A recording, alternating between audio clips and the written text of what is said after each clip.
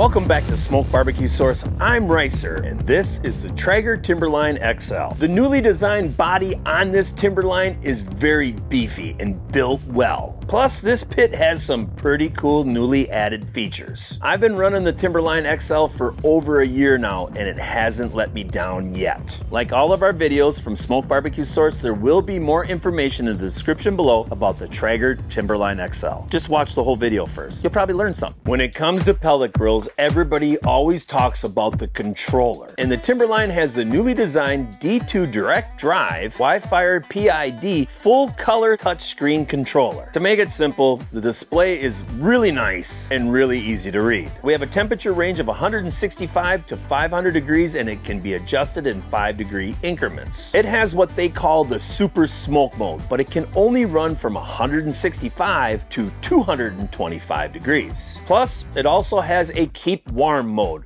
that's just gonna run at approximately 165 degrees. The controller and app are very user friendly. Not only is it simple to just set up some timers, it's a breeze to set up a probe alert when you've reached your cooking temp. You have two probe ports and they send you two probes that are color coordinated. With a Timberline, they also send you the MEATER wireless probes. I pretty much have to admit that I just forget that the pit has them, so I don't use them. As long as you've got a Wi-Fi connection, it is so easy to set up this app and it's really simple to use. For an older feller like myself that isn't really big into the Wi-Fi connections, it is really user friendly. I'm pretty blind, but I don't need my glasses to be able to read this app. You can even name it. And I named this pit Easy Bowl. When I saw the boys assembling this pit and noticed the oven style racking system, I named it the Easy Bake Oven. Sorry, it just kind of ended up that way. And one really kind of important feature for all you beginners. On the app, they also have recipes that you can follow along with.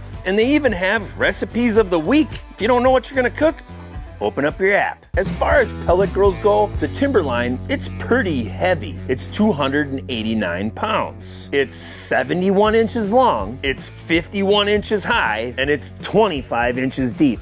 Sorry, I can't find my tape measure. You have a whopping 1,320 square inches of cooking space. And there certainly has been a time or two where I've needed all that cooking space. We have 594 square inches on the bottom racks, giving us 363 square inches on each warming rack. And all of these grates, they're made out of stainless steel, so they're a lot easier to clean and a little bit more durable. Especially those bottom grates, they're pretty much indestructible. The cooking chamber it is double walled. This pit doesn't leak because on the lid you have a really nice gasket. The smoke, it pretty much exit where it's supposed to, out the downdrafting system. When it comes to a lot of the other box store pellet grills, they leak like a sieve. But this Traeger Timberline model, it's pretty dang tight. We have a very nice grill light that is actually mounted on the side of the hopper and automatically activates when you open up the lid. One feature feature that I use way more than I thought I ever would is the induction plate. It's so convenient having a way to heat up either some beer or your sauce right next to the pit so you don't have to go in the house. All I have to do is remember to bring out a pot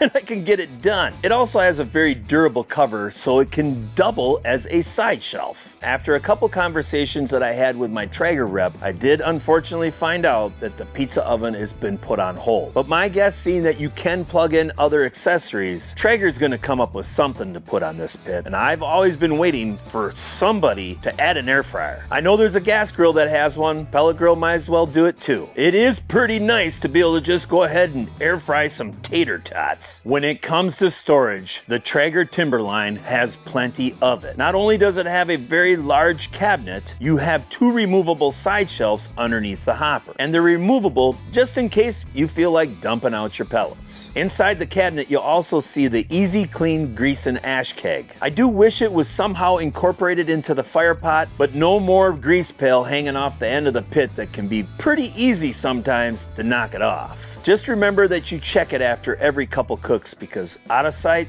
out of mind. On the Timberline XL, they also send you the stay dry pellet bin, and that's great if you want to store any of your pellets that were in the hopper. As long as we're talking about pellets, let's talk about the hopper. You can hold 22 pounds and that's enough for an overnight cook. You also have a low pellet fuel sensor, which is great for all of us because sometimes we forget to open the lid and check how many pellets are in it. And on top of the hopper lid, you do have a removable cutting board. I've never used it, but it is kind of a nice feature in case you were ever in a jam. You know, you've been cooking all week and you just didn't want to do the dishes, but you better be cleaning up your cutting boards because it's not very sanitary. One new pretty innovative feature that they added to the Timberline is what's called the pop and lock system. And that's a rail system where you, if you buy an accessory, you can actually kind of put it wherever you want. And they've come out with quite a few accessories. You have a spice rack, tool hooks, and a paper towel slash butcher paper holder. The best part of the PAL system is that you can put these accessories wherever you want. A couple of the accessories that I really like a lot is number one, the removable front shelf. And number two, the cover. It's built out of some pretty quality material and it fits nice and snug. This pit is sat outside all year long and it looks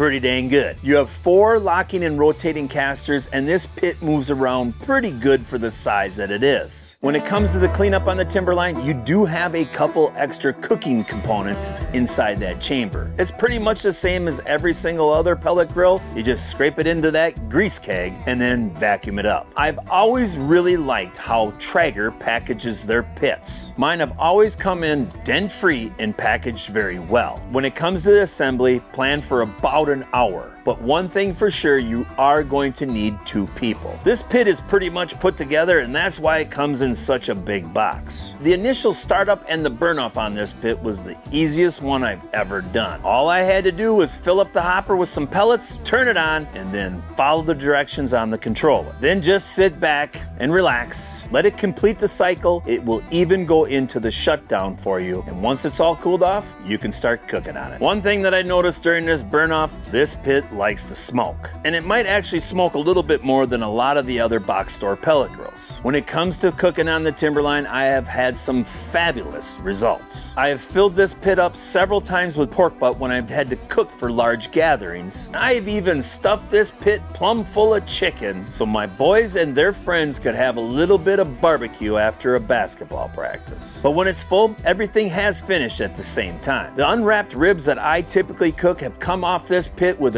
amazing color and a good smoky flavor. The family and I, we love grilled shrimp and the Timberline adds a perfect amount of wood smoky flavor to those shrimp. And if you like bacon, cure some up, throw it in this pit, and it'll turn out amazing. My overall opinion on this pit is very positive, but it might not be for everyone. Right now, today, this pit is on sale for $3,500. So you Traeger diehards, now is the time to act because the normal price is $3,800. With the bigger cooking space, the induction plate, and the larger storage, this pit, it's got it all. If this is out of your price range, there is the new Ironwood. It just doesn't have as many features and as much cooking space. The Timberline XL is made for a large family or for the fellow that loves to entertain and invites the entire block. I am truly impressed how tight this chamber is and how it holds the smoke. I made fun of it at first, but my favorite feature really is the oven style racking system. It is so nice not having a fixed rack position because sometimes when you're cooking different types of food, it's nice to be able to raise it up so you can get underneath it with a bigger chunk of meat. Or just to be able to adjust it so you can hold a couple different sizes of hotel pans. If there's one thing that I could change on this pit, I want bigger locking casters. They're built okay, but they're very small, and it's really hard to get your foot underneath that cabinet and lock them in place. If you're looking for pricing or a more in-depth review on the Traeger Timberline XL, check the description and click on the links below. I appreciate you watching, and I'll see you in the next video.